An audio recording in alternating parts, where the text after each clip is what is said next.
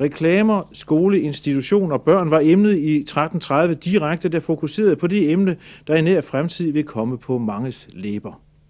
Det er onsdag den 24. august. Velkommen til 1330 direkte, hvor emnet er reklamer, børn, skole og institution. Med her i studiet, der har jeg Ole Båd, du er direktør for for Dansk Informations- og Reklamecenter. Jeg fik vist sagt det rigtigt, gjorde jeg? Ja, det gjorde det, jo. Det gjorde Velkommen til dig. tak skal du have. Vi skulle have haft lidt flere gæster i studiet, men det var ikke alle, der kunne. Øh, men det har vi klaret på bånd. Dels har vi skolelederen af øh, Ishøj Skole, Karin Ekstrøm, på bånd, som kommer senere. Så har vi med på telefonen øh, en, som virkelig ved noget om reklamer, og i hvert fald tv, det er Birgitte Tufte fra Danmarks Pædagogiske Universitet. Og så har vi så også spurgt formanden for børne- og undervisningsudvalget, Ole Bjørstop, om hans oplevelse af øh, børn, reklame og skole. Christian Kristoffersen sidder ude i den virkelige verden nede på 10. klasseskolen, hvor han har samlet gæster.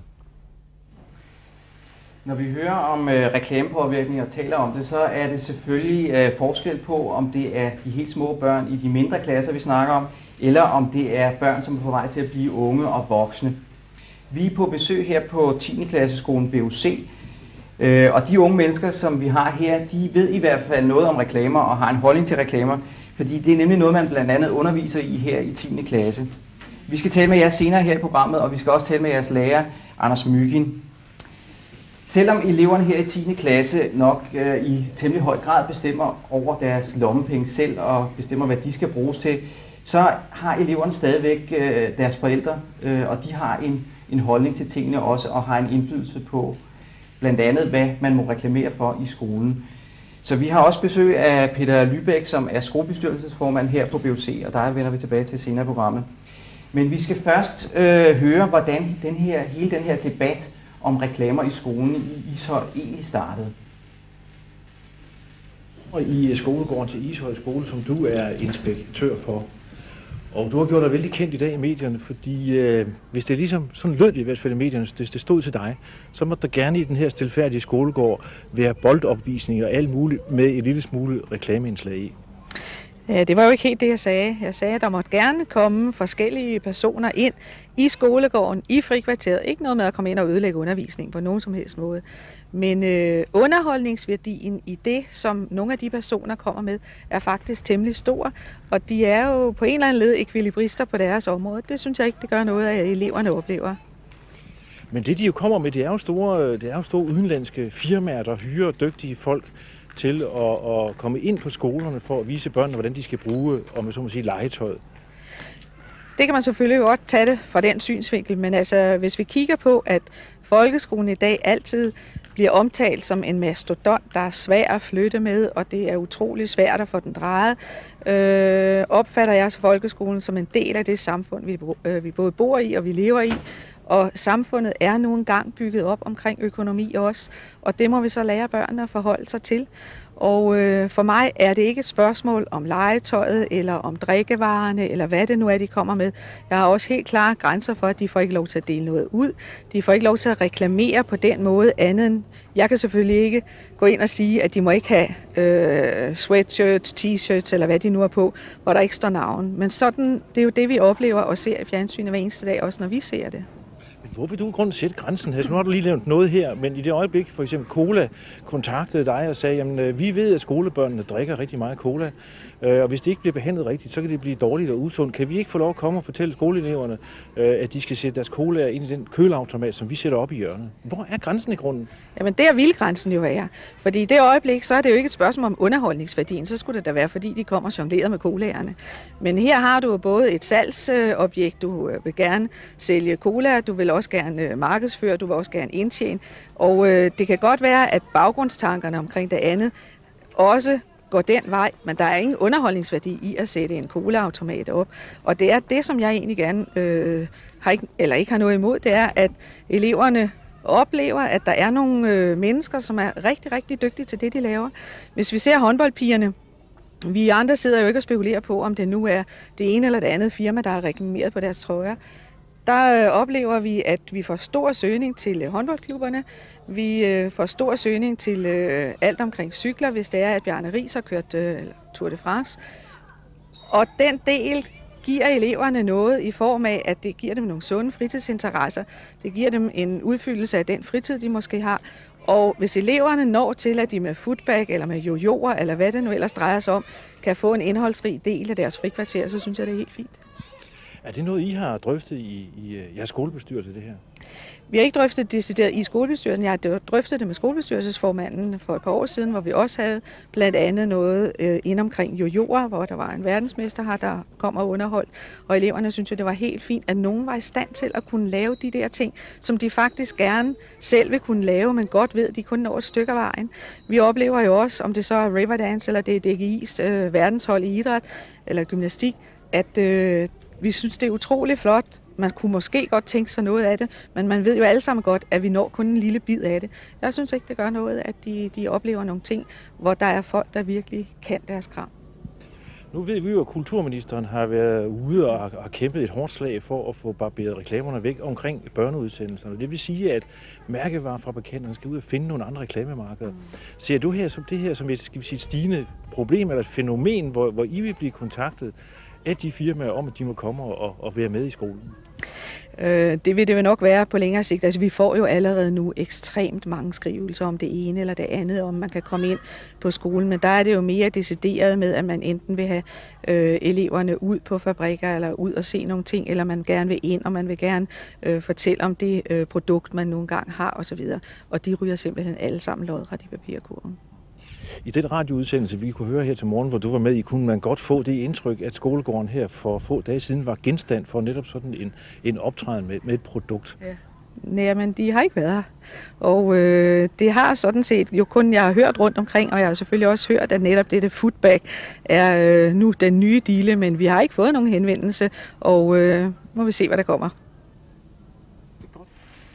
Ja, nu hørte vi altså en skoleinspektør, som sagde, at øh, det selvfølgelig ikke var okay at reklamere direkte i skolen, men det kunne godt lade sig gøre, at nogen kom ud og demonstrerede nogle ting og lavede noget opvisning, som der var en underholdningsværdi i for eleverne. Øh, og så ser man ikke så meget på, om, om der står et firma øh, og arrangerer det hele øh, med en eller anden for, øh, bagtanke om at sælge nogle ting. Men øh, jeg kunne godt tænke mig at høre jer som elever. Det er jo så jer, øh, der bliver udsat for det her, i hvert fald ifølge nogen. Øh, hvordan oplever I det øh, i skolen?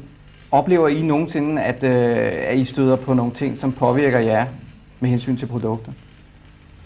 Altså nu er der sådan reklamer i, vi finder reklamer over det hele. Så um, altså, i skolen, ja, på internettet og sådan. Så øh, ja, om det påvirker os, det, det gør det vel.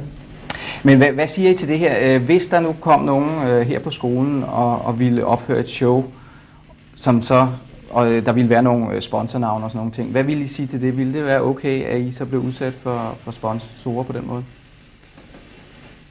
Ja, altså, øhm, de tænker jeg selvfølgelig som, måske på, at det er reklame, ikke? Men øh, så tænker vi så, at det er jo rimelig sjovt, og det skal prøves. Men, men kunne, der være, kunne der være en, øh, en uheldig virkning af, at de gjorde det, synes I? Ja. Hvad, hvad siger du? Ja, fordi at øh, hvis vi siger, at vi tager ud og øh, hvad hedder sådan noget, øh, fremlægger ting for andre, jamen så skal de jo også høre på vores. Og derfor så synes jeg det er godt, at vi kan sådan få nogle reklameringer frem, sådan så vi også kan gå ud og vise dem, hvad vi har. Men er, øh, er, det, er det i det hele taget noget, som vil øh, påvirke jer? Tror I, at hvis nu de her foodback, hvis I blev udsat for dem, han er sådan, så dem, øh, vil I så drøne ud og købe de her ting, tror du? Nej. Så, så, så, så meget øh, påvirker det jer trods alt heller ikke? Nej.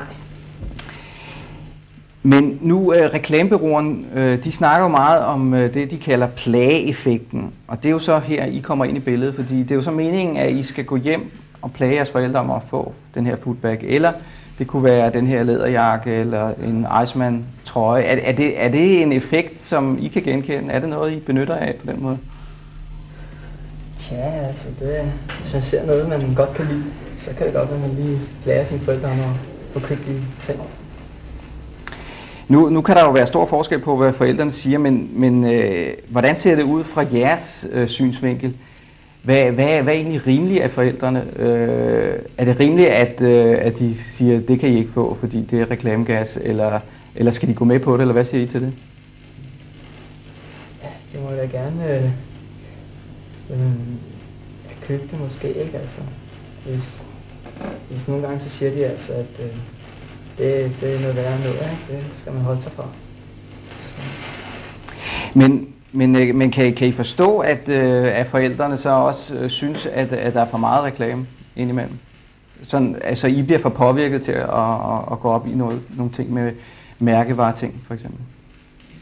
Ja, vi kan da godt blive påvirket af det.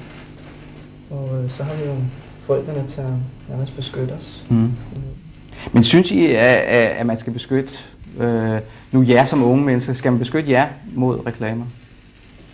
Men nogle ting ja, og nogle ting nej. Hvad var for nogle ting er i orden så? Det er i orden, at man, hvis man går hjem og spørger, jamen mor, vi har set det og det, og vi vil gerne have det. Og hvis vi så kan sådan låne nogle penge eller sådan et eller andet. Mm. Men det er nej af at gå hen, og så for eksempel bare sådan, mor, jeg vil have det, og hvis jeg ikke får det, jamen så vil jeg ikke have noget med det at gøre med. Altså sådan, Det vil sige, I skal, I skal kunne argumentere for, at det er altså noget, I har brug for, så I ikke fryser, eller så I, så I kan være bare nogenlunde velklædt eller et andet. Ja. Okay. Men hvis nu man skal beskytte jer mod reklamer, hvem er det så, øh, der skal beskytte jer? Er det, er det jeres forældre, eller er det skolen, eller er det samfundet, eller tv, eller hvem er det, der skal gøre det? Det er jo, øh, det er jo sådan svært at beskytte, fordi de reklamer jo over det hele.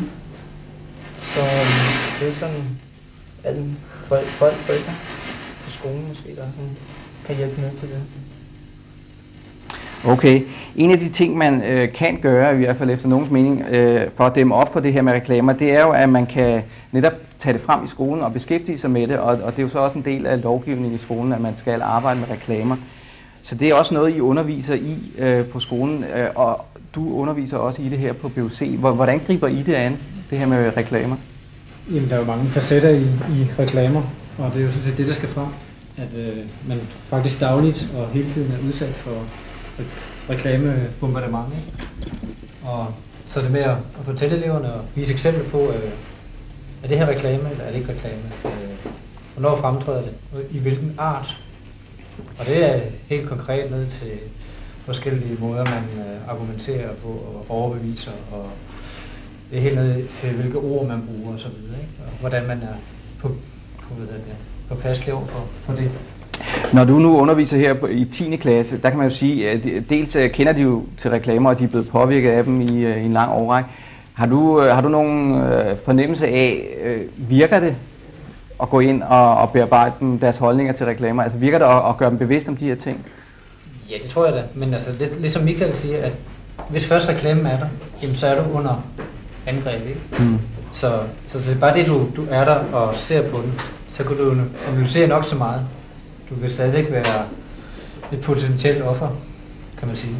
Så er det noget, der, er det noget, der påvirker øh, skolehverdagen, øh, reklamer? Altså nu, nu, hvis vi så tager det her med, mm, altså måske ikke så meget med reklamer i første omgang, direkte i skolen, men, men er de unge øh, mere påvirket af reklamer, end man var før i tiden for eksempel? ja, i og med, at antallet af reklamer er mange dobbelt, så vil jeg tro, at det, det er de. Selvfølgelig er de det. Øh, men, men er, er, er, oplever man, at der er større gruppepres i dag for eksempel? Altså for, at man skal have det rigtige tøj, eller de rigtige sko, eller hvad det nu kan være? det må næsten spørge Ja, det kunne, det kunne være, at vi skulle spørge jer. Hvad, er, er der, er der et, øh, et, et stort pres for at, at bruge de her mærkevarer, som, som firmaerne godt vil have os til at bruge? Det er jo sådan for at virke lidt smart. Mm. Altså, har man ikke det, jamen, så må man spare op. Men altså, vi vil lige blive drillet, hvis, hvis I gik i noget tøj, som, som man ikke reklamerede for. Altså. Nej, tror jeg ikke. Så det er ikke noget, I tænker over i hvert fald. Og det er heller ikke noget, I tænker over ved andre, at, at det der det er totalt ydt. Nej. Okay. Er, er, det så, er det så noget, der, øh, der altid har været sådan for jer? Eller er det en udvikling, der, der har gjort, at I, altså, er I blevet mere bevidste om, om at, øh, at der er en påvirkning, og, og at, det, at, det kan, at, det, at det ikke betyder så meget i virkeligheden, måske, med forskellen? Det betyder ikke så meget. Personer går jo bare med tøj. Det er jo tøj, man bare skal på i skolen. Andet. Okay. Ja.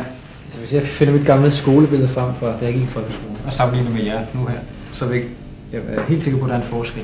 Altså, I vil, I vil være meget mere kvalitetsbevidste om hvilket mærke I gik i, end vi var, da jeg gik i skole, i folkeskolen. Det er jeg næsten helt sikker på. Hvis, hvis vi så ser på, øh, på reklamer øh, direkte i skolen, øh, hvad, hvad, hvad, hvad for en holdning har man så som, som lærer til det? Altså er det noget, man øh, ville kunne acceptere, hvis det for eksempel var sponsor? Ting? Altså personligt vil jeg jo øh, synes, det var forkasteligt, at der ville komme nogen ind for døren, der havde et eller andet, en bagtanke med at sælge et eller andet produkt. Om det så var sådan nogle øh, poser med ris i, man spiller fodbold med, eller, eller hvad det nu var. Eller der synes jeg, at man er på afveje. Nu, øh, nu er det så 10. klasse, vi har med at gøre her, øh, hvor man kan sige, der, der er de unge mennesker i stand til at, at vurdere nogle ting selv og tage en øh, stilling til det.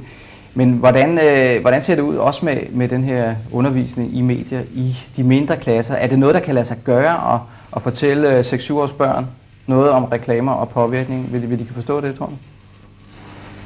Det er nok. Jeg tror, man skulle lidt længere op i, i skolesystemet før det. Men selvfølgelig jo tidligere man starter, jo større chance er der også for, at, at eleverne fik en kritisk vinkel på, på reklamer. Det kan være, at vi lige skal høre jer her til sidst i denne omgang. Øh, har, I, har I lært noget om reklamer tidligere i skolen, øh, i de mindre klasser? Er det noget, I har beskæftiget jer med i de klasser, I har gået i? Nej. Jo, altså, vi har sådan haft øh, analyser og sådan noget, altså, hvordan det påvirker os, og hvad man ser på, og man følger med i. Tror du, det er noget, der har haft en effekt på din holdning til, til reklamer? Ja, jeg tror, det har en effekt på alle, alle, alle personer. Så det er så, hvad man så interesserer sig for. Godt. Øh, vi skal også høre nogle fagfolk, øh, som laver reklamer og som beskæftiger sig med, hvordan reklamer påvirker øh, børn og unge. Så vi skal tilbage til studiet til Torben. Ole Bo, din hverdag, det er jo reklame, salg og, og marketing. Jeg kunne godt tænke mig lige først at spørge dig, hvad, hvad er reklame? Mm, reklame, det er mange ting. Reklame er en helt naturlig ting af vores dagligdag. reklame er os selv. Reklame er ikke kun det, du ser, ikke kun det, du bliver påvirket af. Du reklamerer selv. Hver, hver gang du åbner munden, hver gang du tager tøj på derhjemme, så går du ud og signalerer et eller andet. Og det er i sig selv også reklame. Bare det at vise en attitude er jo en reklame over for andre mennesker.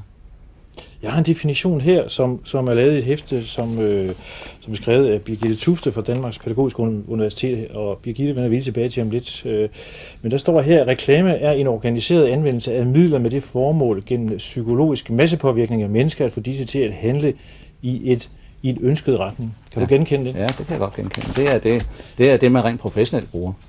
Øh, det jeg talte om før, det var sådan den, den personlige, hvad er reklame? Fordi det er jo meningen, at man skal påvirke en hel masse mennesker for at øh, komme med sine meninger. Enten være så politisk, som også vi tidligere øh, gennem mange år set i folkeskolerne, øh, og det er også kommercielt, hvor man skal sælge nogle produkter.